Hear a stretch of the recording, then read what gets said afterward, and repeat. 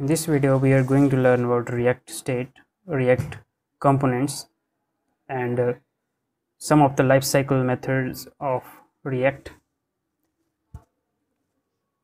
So let's first create a class component and uh, name it as class app and it must extend react component. So import first react from react and class app extends react dot component and react dot component must have render method and render method will return.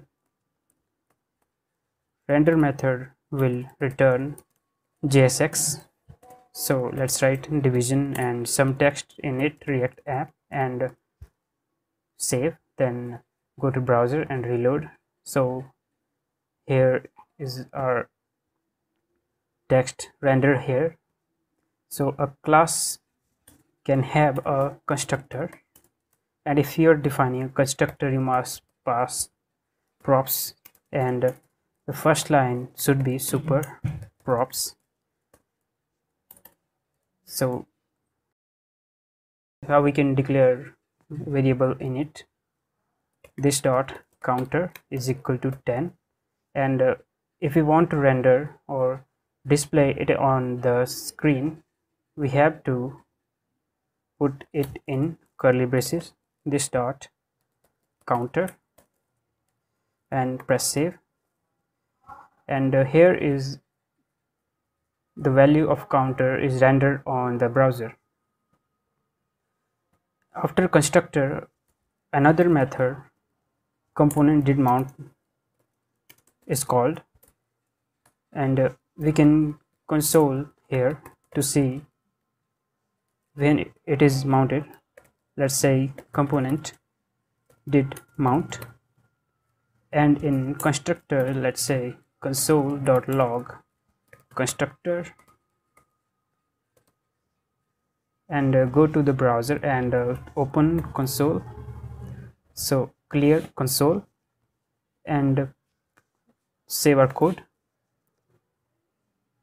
so first constructor is called and then component did mount is called.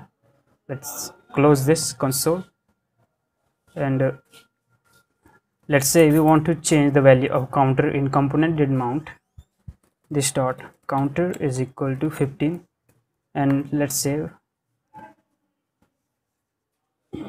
the value of counter is not affected because render method is called once. So to run so if you want to update the value of counter we have to put it in state. So let's say this dot state is equal to and uh, it must be an object counter let's say 10 and uh, to print to display this on the browser we have to say we have to type this dot say dot counter and uh, value 10 is displayed in our web page. So component did mount method. If we assign some value like this dot state dot counter is equal to 15 and uh, save then value is not displayed yet so we have to call a method this dot set state counter and we assign a value 15 to it and save then the value 15 is displayed on the screen.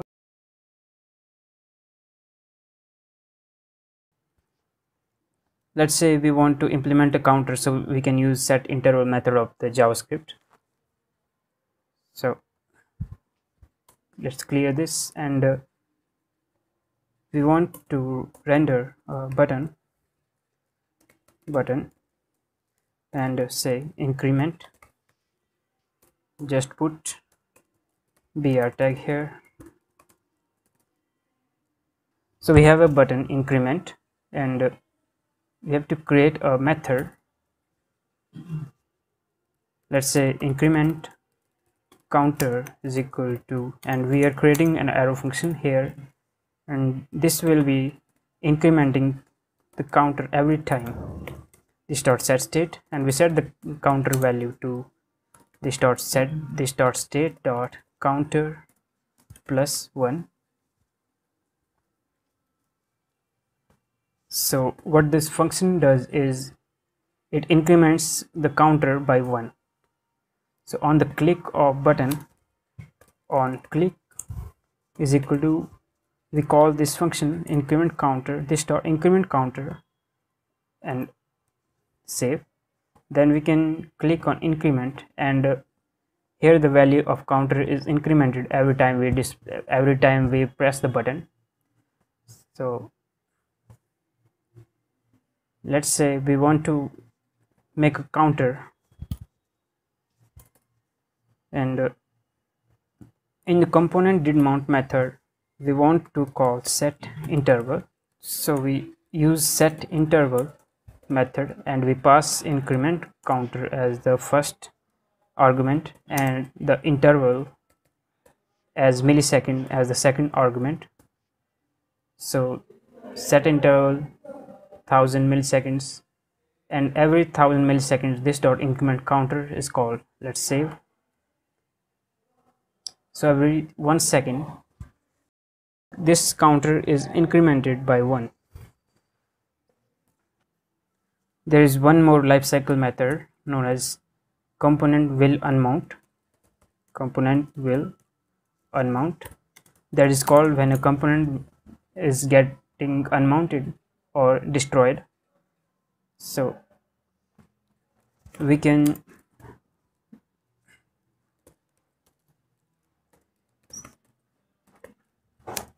assign the id returned by set interval to a variable. And we must clear interval this dot underscore interval on component will unmount so that we don't want to we don't want to run this interval after the component is unmounted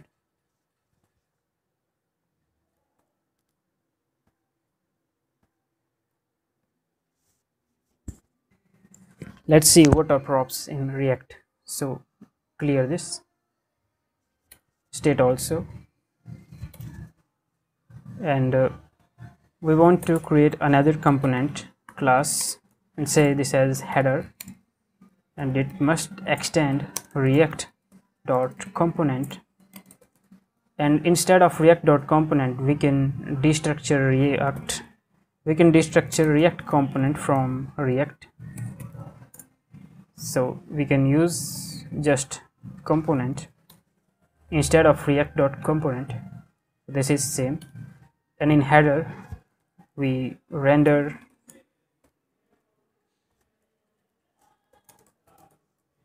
and return some text in division. Let's say demo application. And uh, we want to use header component in app component. So here we say in division we write header and press save. So we can see the app component is rendering header component in it. And uh, what are props? The props we can pass something like its property title equal to let's say demo application. And instead of this we can use this dot props dot title. And this dot props dot title is received from this header proper properties. So title we receive here and press save. We can see demo application which is passed as the title is received in the props and uh, we're displaying with the help of this dot props dot title. And now we can just destructure props here like in the elegant way like const title is equal to this dot props. And we can just use title here so this looks more elegant and press save okay now this is running fine. We can just use another component class footer extends component and in render method we just return division footer. And uh, use footer here. Footer. Press save. And we can and we can see that footer is rendered be, uh, below the header component. Just like the class based component there is function based component which we can use. So let's see how we can use function based component so let's see how we can define function based component. We want to convert footer into function based component like const footer is equal to we are defining an arrow function and from arrow function we are returning jsx division. Let's say this is footer and uh, press save and this is footer is displayed on the browser. So it's up to you to use either class based component or function based component.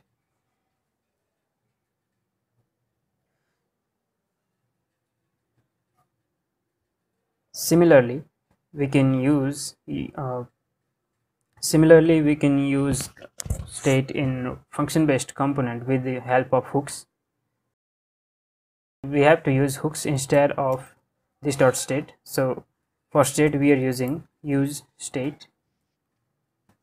And uh, in this let's say const um, counter comma set counter is equal to use state.